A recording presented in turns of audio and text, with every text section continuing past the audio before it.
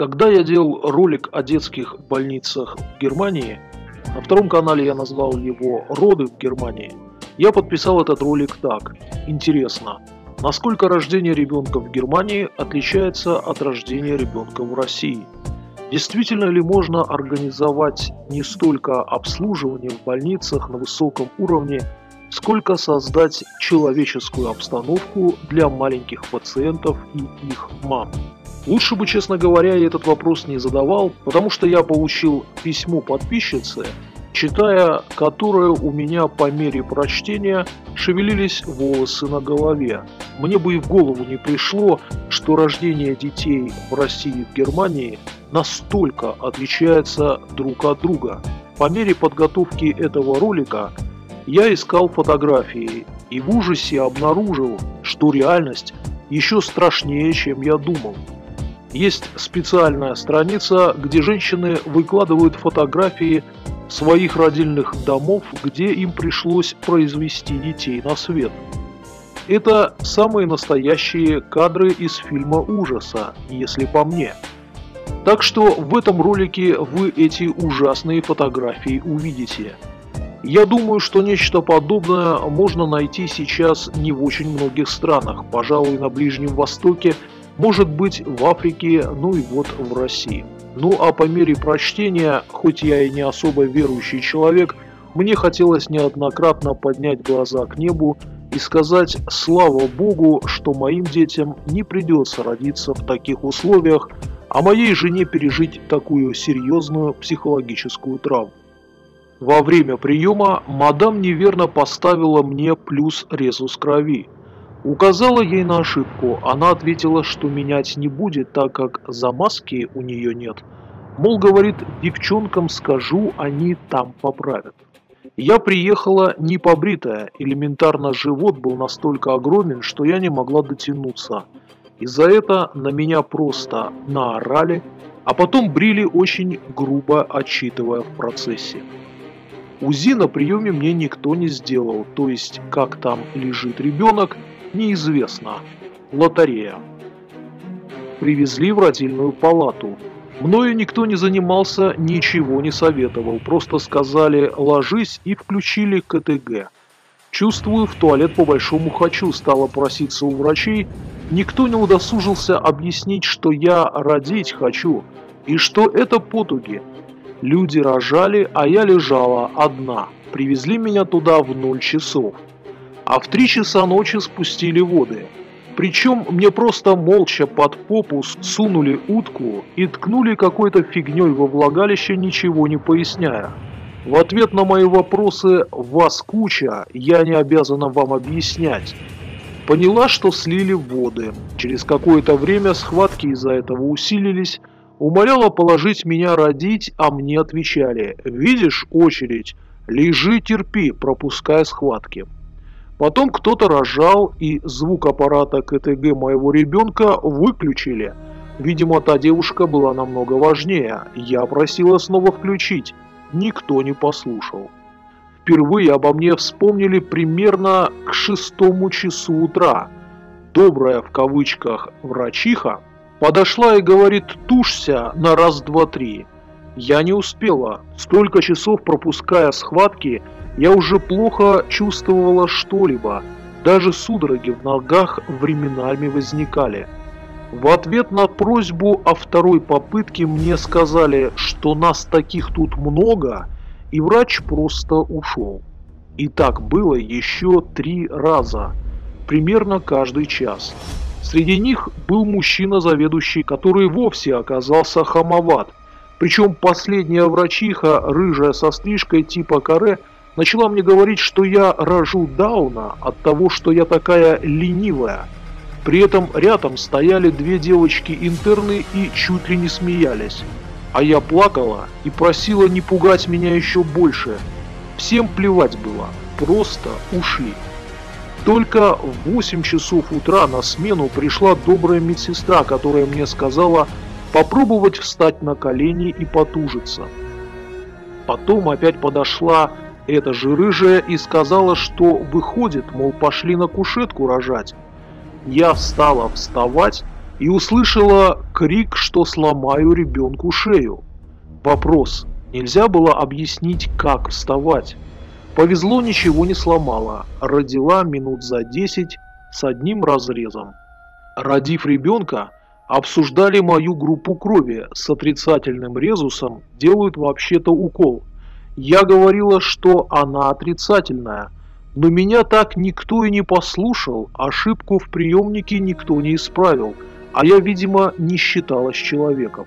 И в итоге осталась без укола, очень необходимого. После родов все ушли, а меня оставили в родильном на стальной кушетке под простынкой – Сын на столике запеленутый лежал. Слава богу, простынку замотать догадались. Мне было очень холодно. Я лежала так около часа. Потом вывезли в коридор и еще на час забыли меня там. После чего просто унесли сына, не говоря, когда я его увижу, а меня повезли не в родильное, а в реанимацию, в родильном мест не было. Побыла там с другими девочками до 11 вечера после чего меня привезли в палату. Все это время меня никто не кормил. Зато в ноль часов принесли кормить сына. Поднесла грудь к лицу, он начал задыхаться. Медсестра похлопала его и сказала, что все нормально, и такое бывает. Мол, если что, тоже хлопай, а если не поможет, зови. Она не успела выйти за дверь, как мой сын снова стал задыхаться. Я пыталась ему помочь, кричала, звала ее, но все было бесполезно. Он синел у меня на руках. Каким-то чудом он начал приходить в себя, и в этот момент пришел заведующий с медсестрами. И стал извиняться, но не передо мной, а перед девочкой, которая лежала со мной и рожала с кесаревым сечением за 100 тысяч рублей. Меня игнорировали, а перед ней извинялись за шум. Потом ее вовсе переселили в палату поближе к кабинету главного. На утро принесли ребенка, и с ним, слава богу, все было нормально, но... Повели на осмотр, я не успела на стул сесть, как с меня на лету стали вываливаться сгустки крови, потому что нужный укол не сделали. Было очень больно и еще очень страшно. У меня был гемоглобин 60, и моя врачиха об этом знала. Я ходила еле-еле, держась за стену. А на меня лишь орали за то, что не причесано, это им не понравилось. А у меня не было элементарно сил поднять руки. В выписке из роддома написано, что у меня было кесарево, положительная группа крови и что сыну прививку сделали еще до его рождения по дате. Видимо, прическа для доктора важнее работы. Вот такое письмо. Так как я в ролике рассказывал, что провел ночь рождения своего ребенка вместе со своей женой, то я сразу увидел очень много различий. Прежде всего, вот то, что она написала, что приехала небритая – я извиняюсь за такую подробность, мы взрослые люди, если есть дети, могут закончить просмотр этого ролика. Это же самое было у нас. При этом немецкая акушерка, когда мы ей сказали, что нужно, дескать, побриться, посмотрела на нас очень большими глазами и спросила, зачем это. Ну, как бы имея опыт рождения в российской больнице, жена сказала, ну это как бы положено – Та пожала плечами, нет, ничего подобного не положено. А потом прибавила, послушайте, 50 лет назад ваши мамы и бабушки рожали естественно, как все было задумано природой. Кто там думал о каких-то интимных прическах? Это было первое, чего не потребовалось. Второе, моя жена, опять же отталкиваясь на своем негативном российском опыте, стала просить, чтобы ей сделали клизму. Акушерка еще раз удивилась, зачем это вам клизма? Ну как, если вдруг во время родов опорожнится прямая кишка, та сказала, это абсолютно нормально, вы не должны даже думать об этом. Как же переполошилась моя жена. Нам обязательно делали клизму и даже по два раза.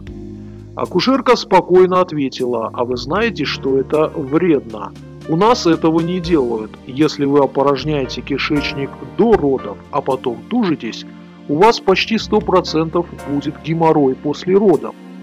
На что жена сказала, да, в России практически у всех женщин после родов геморрой. Ну вот, сказала акушерка, а мы этого не делаем. А порожнится кишечник, ну и ничего страшного, для этого я здесь существую. Вот такая вот история. Представляю, что бы было с женщинами в России, если бы с ними происходило то же самое. Если на них орут за то, что она не побрилась, то если наделает на стол, то, наверное, просто убьют вместе с ребенком. Дальше, судя по письму, у девушки были первые роды. Она ничего не знает, не знает, что с ней происходит. И в немецкой клинике акушерка для этого и существует, чтобы беспрерывно объяснять. Сейчас мы вам сделаем это, а теперь мы сделаем так. Вы почувствуете себя так, потому что с вами происходит это и так далее. И все время, которое она там присутствовала, она присутствовала не так-то много, она успокаивала и улыбалась. Все, что я от нее слышал, все происходит хорошо, не переживайте, расслабьтесь, все будет отлично. Я с трудом могу представить Хибамы, то есть акушерку по-немецки, которая бы здесь каким-то образом орала на роженицу – я думаю, что она бы просто вылетела с пометкой, что она психически больная. И уж точно не нашла бы работу в этой сфере.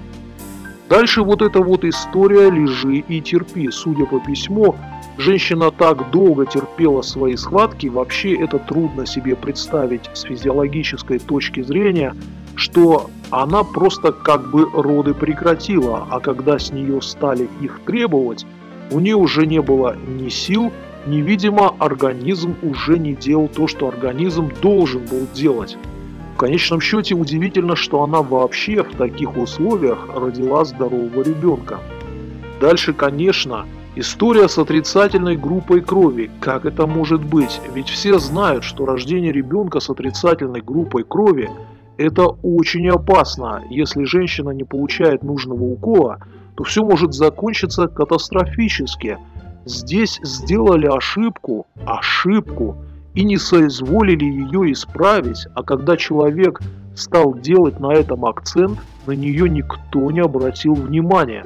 Что это за профессионалы в кавычках? Что они вообще делают в этих учреждениях? Почти 10 часов женщину ничем не кормили, не поили чаем, то есть вообще ничего. Видимо, это специально делается для того, чтобы женщина успела побороться за свое существование. Как и ребенок, который синел на руках, а медицинская сестра просто ушла, видя, что с ребенком что-то не так. Ну ты меня позови, так сказать. Хорошо, если бы в родильных палатах в России были бы какие-то кнопки на кровати, как это во всех европейских странах. Но судя по всему, какие там кнопки, хлопай ребенка, тряси его, делай что хочешь. В общем, можешь его прям там сама и реанимировать, если сумеешь. Получается, что люди в России рождаются практически в нечеловеческих условиях. Не только в плане дизентерии и плохого оборудования, бедности, нищеты – но и в плане жесточайшего равнодушия, агрессии, какой-то нечеловеческой злобы друг к другу. Не знаю, по мне так эта страна безнадежна. Даже если поставят хорошие кровати, заменят унитазы и поставят везде аппараты ультразвукового исследования, все равно вот эту грубость, бесчеловечность, жесткость которая находится в людях, мне кажется, уже никогда не исправишь.